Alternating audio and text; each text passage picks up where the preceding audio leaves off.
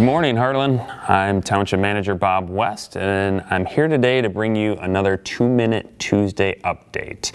Um, one of the topics I really wanted to cover was what is the difference between a city and a township and the level of services related to the tax rate.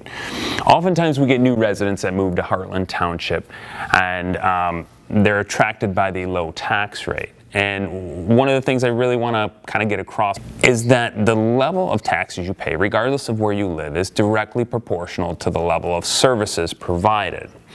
Now, from the township level, I would, I would equate it to basically an a la carte menu. You have your bare bones uh, level of services, and anything you want additional generally requires some sort of millage to be passed or um, an assessment. In the cities, the state statute allows cities to charge a much higher millage rate where they can include all these services within their base tax rate. If you were to look at your tax bill, uh, as a Hartland Township resident, you will see that there is a, a, a, base fee that comes to the Hartland Township General Fund as revenue.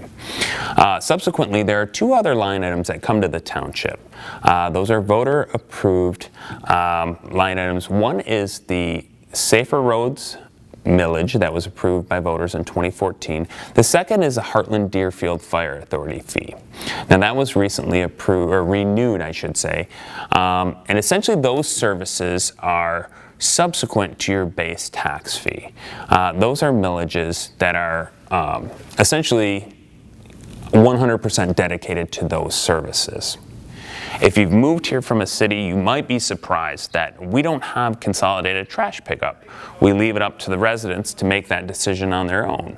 Um, when you go into a city, they offer that service. They also probably offer uh, sidewalk maintenance and, and winter maintenance. Um, we don't have that in a township because basically uh, we are providing the uh, essential services only. So if you have any questions regarding your tax bill, please feel free to reach out. We want to be a resource to our community and we're always willing to help. If you have any other uh, topic suggestions for future Two Minute Tuesdays, please post in the comments below or reach out to us. Thanks for tuning in.